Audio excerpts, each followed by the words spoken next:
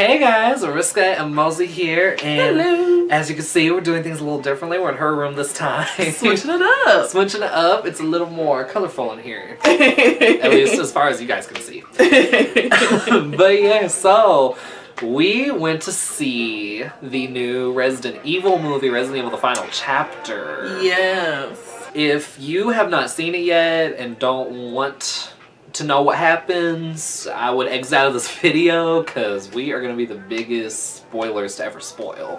Sorry. Oh, but if you have seen it or you don't care about being spoiled, then get ready because we going to talk.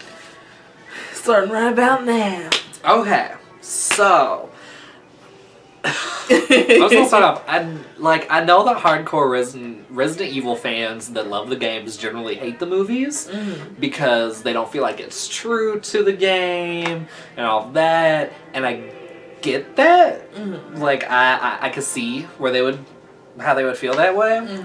But then at the same time, like I personally love the games and the movies just because it's supposed to be like its own universe. Right. Like it's it's just supposed to use the names and the appearances of the characters and it's not very loosely based. exactly like it is not meant to be canon or anything like that. It's At it's least not with the games. no, Yeah. like it's really just fan service and it's fun. It's entertaining. I love Milla Jovovich, and yeah, so uh, so yeah, that that is that. Because she's the Resident Evil expert here. I am. I do love me. I love me the Resident Evil games, at least pre four. After that, things started going a little downhill, but That's a story for another day. It's a story for another time. This is a movie review. this is a movie review. But I am excited. I'm probably gonna buy Resident Evil Seven soon and try it out and see if it's any good. It So looks really scary. it looks really scary and really intense and That different. demo was. Right, that demo was terrifying, and it looks different, but it's not. It's still going back to survival horror, and I like Right. that. But yeah, so basically, this movie takes or starts off where the last one kind of ended, Mhm. and spoilers in case you didn't see spoilers. basically, you remember that Chris was or not Chris. Okay, apparently I got Chris on the brain. that Alice had been brought to DC by Wesker, along with Jill, Leon, Ada. I'm trying to think if anybody else survived. I don't remember. I don't think so. But yeah. it was them, and they were gonna like help take down Umbrella because Wesker gave her her powers back, and Yeah. and so he was on. He was turning against Umbrella. He was on the good side now. Well, you find out at the beginning of the movie that was a load of bullshit. Cause you should know by now Wesker's full of BS. Wesker sucks. I hate him. The fact that she believed him, I was like, really, like really, Alice. really, because basically she's the only one left alive. Jill, Leon, and Ada, we assume we're all dead. It was heavily implied that they're dead. 'cause Heavily they implied. are not brought up in No. at all. Well, they mentioned you're supposed to take care of a problem, and you mm. didn't. So. Yeah. Exactly. So they're all dead, and basically Alice is told by the new Red Queen. You, Mm. Y'all remember her if y'all remember the first movie. But basically, she's been on a 48 hour mission to go retrieve the antivirus from Raccoon City, from the hive, where everything all started. Yeah. Because of course Umbrella made an antivirus for the T virus. Because they're like, well, what if it gets a little too out of control? And then it did, and then what they do? Nobody used it. They're like, well, but I guess we'll get to why that happened. Exactly. The action is really good. Like Yes. at first, the first like kind of few jump scares, I was very unimpressed. I was like, oh my god, this is gonna be like this throughout this whole movie. Like if you've seen a Resident Evil movie, you know where the jump scares are gonna be. You're expecting it. You're seeing it coming. But after that, it got got way past jump scares. It, okay. Now I love action movies. I love like Mission Impossible's or like Fast and Furious. Like, I, give me action. I'm all about it. This movie did not lit up not one bit. It was 24 7 action. Like, even when there was a little bit of dialogue, usually some action either soon followed or it was just happening- stopped. Yes, like, ooh, or it was happening during the dialogue. yes. like, there's action constantly going on, and it's it's intense. It's a very intense movie. I suggest sitting in the middle of the theater if Mhm. you do go see it in the theater. Don't sit right next to the speakers. Don't make our mistake. Because we did, and I'm partially deaf in this ear. um, but hey, I guess it comes with the territory. Oh my god, it was so loud. I did not expect it to be so loud. No. And then, like, by the time we had sat down, like, there were a lot of people there, so we couldn't just get up and move somewhere else. So get there early. Get- Get in the middle, or just get away from the speakers. Because, you know, we thought it would be safe because everybody likes to shit on the Resident Evil movies. So we're like, oh, nobody's gonna be there. No, Who's gonna see it? I'd say, like, half of that theater was filled.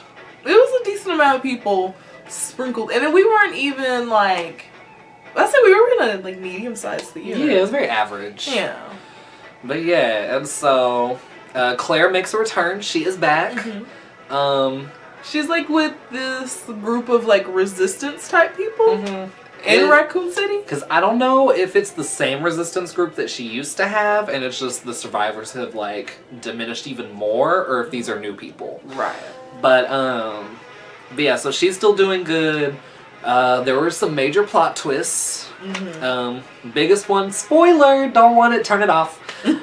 um, turns out Alice has been a clone yeah. of the founder of Umbrella who created the virus, James Marcus. He had a daughter named Alicia, and he formed the Red Queen after her likeness. Like the child likeness. Exactly. And then Alice, how she is, is like her adult. Exactly. likeness. So we get to see fabulous Mia, Milla with her pearls and her bob, looking all old, Mhm. being a badass. Like, and at the end, she gives new Alice her memories because Alice somehow survives after de- unleashing the cure. Yeah, I guess since she wasn't fully zombified, Mhm. it took care of the T virus within her without killing her. Exactly. Like, since she had not transformed into something evil, Yeah. she was okay. Yeah. So, I personally enjoyed it. I thought it was good, good wrap up for the series. But then they, then it got weird, and I will say that it dragged on, 'cause, like movies are prone to do nowadays. it's just like we really have to have bad guys survive like six different times, really, really, you. like really. But it got weird because in an interview, Milla said that this is the end. As of right now, there aren't going to be any more. But then at the end, they left it almost on a cliffhanger, as if there are going to be more. Mm. So I'm like, I'm like, wait, like, what's going on? Like so, cause yeah, like the way she's like headed into like Manhattan, like in New York. It looks like, Mhm. um, or it could be Manhattan, Kansas. Who knows? right? Everywhere's demolished at this point, so everywhere's pretty much the same. It's all rubble. But yeah, and she says that like her fight is not over, her mission's not over because since the T virus was airborne and not however it was distributed the first time. It wasn't deliberate. Like it was the first time which you learn in the movie. But um but yeah, and so it kind of ended on her taking on new tasks in this new Exactly. world. You see like a shadow of a flying monster, and so you're like, whoa, I thought everything was dead. Right, because I'm like, if that didn't have the T virus, does that have the G virus? Right, does have the, the ZXQ virus. Like, what is this? what is this monstrosity? Yeah, I for a person that wasn't like in the Resident Evil fandom, I enjoyed it. Uh, she introduced me to all the other movies, and I say this one out of all of them, the most action packed. Definitely. Like, don't watch those and feel like, okay, now I'm ready for like this homecoming. You're not ready for homecoming. You're Ooh, ready. never ready for homecoming. oh, because, yeah, it's just like. The first five movies, like, pretty much already set up all the story they needed to. Yeah. And so yeah, like this last one was definitely more action packed and the only like plot you really got was just them giving the plot twist and like wrapping everything up. Yeah. Like if you're a person that really likes, you know, clean finishes, I feel like that movie provided that. And it Mhm. just it just gets to the story, it gets to the action. Exactly. It doesn't focus on like the building up of like the team that's with Claire. right. Like Alice ex- she climbs out the rubble in DC. Mhm. She makes her way to Raccoon City after the Red Queen talks to her. She like deals with some Eventually. eventually. she got to deal with some baddies in the meantime, which Speaking of, okay. There's some squeaky parts. And I don't mean like necessarily bloody or gory per Just- se. It happens and you're like, oh. It's a lot of painful. It's a lot of torture porn almost. Like I would hear her like groan a lot. I was just like, because there's some things like, spoiler, you just see a hand get cut off, and you're just not ready for that. You don't Mm. think, oh, she's gonna cut off his hand. No, No, like you don't think like, oh, she's gonna punch him and then her hand's just gonna crunch. Like, just, just, it's so. old. like she wanted to die. I did. It was, it was that bad. Like I saw her like hold her hand. She was like, oh. Like I think like legs got broken. and I'd see her go like, oh. Yeah, uh-huh. It was it was a rough time for this one for a little bit. It and I watched some rough movies, but that was Like she watches Hannibal. I watched Hannibal. Guys. This was rougher than Hannibal. But Resident Evil took the cake. Uh, and yeah, she starts. Uh, she starts off the movie the way she does all of them by introducing everything, having her little voiceover, and so even if you haven't watched the first five movies, pretty much if you just the intro will just give you the idea of what's going on. Pretty much, like you. I feel like yeah, you can pick up with it. You don't have to if you don't want to. Like watching the first five will help you with like minor things, Yeah. minor references, but uh, it, I don't think it would take away from it. no, it wouldn't take away from the overall story. I don't think. Mia Jovovich is bae. Mhm. Love her. Ali Larter is amazing. I'm mad that I started to like Ruby Rose. I did not like her for the longest time. I thought she was annoying, and she was in that, and I really liked her. She was so likable, and I was like, all right, you know what? Fine, Ruby Rose, whatever. you know, half bad girl. Like I take some of what I said back. It gets stupid. Like it, it like just certain things you're just like really, really, really doing this right now. okay. Like it's not bad. It's just like uh, like understanding why people don't like these movies. you get like. Because I was actually gonna when we were talking about this before the video, like thinking of what we were gonna say, I forgot I was gonna mention it. But okay, there's like your token black guy that's in there. Not only does he die, I kind of didn't feel bad because he had the worst lines. His lines were terrible. That's like he really like they didn't use him enough. Like he was not important, unfortunately. He was just there so that they could say, "Oh, we had a black guy. We're not diversity. racist." So I'm like, "Well, y'all already killed Ashanti, so I say y'all are racist." Oh, thank you. but for real though, like one of his lines was, okay, so somebody's like, well, what are we gonna do?